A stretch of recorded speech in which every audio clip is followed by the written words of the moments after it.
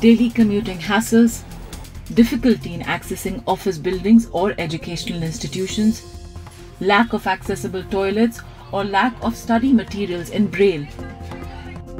These are all the reasons for people with disabilities opting out of opportunities that should be equally available to them. As the only visually impaired student in her school, Tiffany Brar felt isolated and faced discrimination. Later, she founded Jyotirgamaya Foundation, a mobile school for blind students in Trivandrum. The infrastructure was so bad, the toilets used to be dirty, so we used to, I mean, step here, step there. No one used to actually show us anything and all that. So, those kind of things were very difficult. According to a 2019 UNESCO report, there are about 78 lakh children with disability in India. The school dropout rate for children with disability is as high as 12% and as many as 27% have never been enrolled in any educational institution. Why? Because there are no accessible school buildings to start with. I mean, there's no one example. I think there, there are hundreds and hundreds and thousands of examples like that. The moment people see that your child has a disability, you are denied admission. And when you are not educated, where do you get a job? How do you be a part of the mainstream society? You, you continue to remain invisible.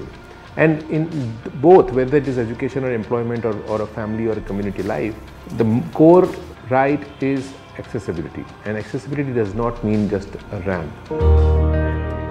For disability rights advocate Nipun Malhotra, a simple thing like using the toilet between meetings would turn into a two hour drive as none of the meeting venues had disabled friendly toilets, forcing him to return to his own home each time. Today, he runs the Nipman Foundation that offers accessibility solutions to persons with disabilities, but he got there the hard way. These things kept happening, and I think what I noticed is that whenever I was entering any job interview, my identity as a wheelchair user superseded my identity as Nipun Malhotra or Nipun Malhotra who has done these degrees or Nipun Malhotra who's excelled in extracurricular activities as well. It was just my wheelchair that was being looked at. What harm does it make if, if, if I am a corporate, if I want to hire disabled people and if people with disability can come and do the job for me, they're adding to my revenue. They're not just coming and killing the time and I have to pay their salary. They come and, and they're adding to my revenue, to my profit. What stops you from doing that?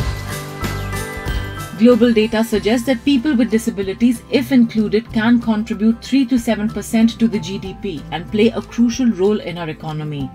The question is can a country move towards development if it overlooks this valuable workforce and their unique perspectives?